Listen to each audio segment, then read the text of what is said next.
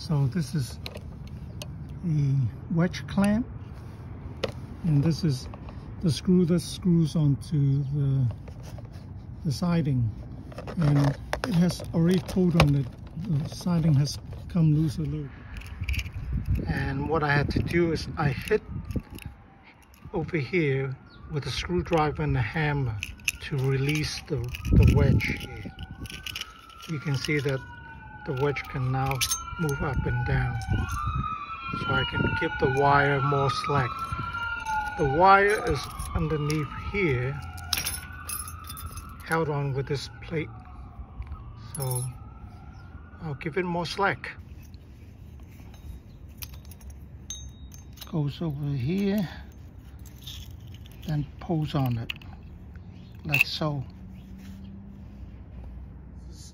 Where the fiber optic cable comes in. And actually at the ONT box there's a big loop of wire here so I just back up some wires. That's all I have to do. So you don't have to run another cable right? That's all you have to do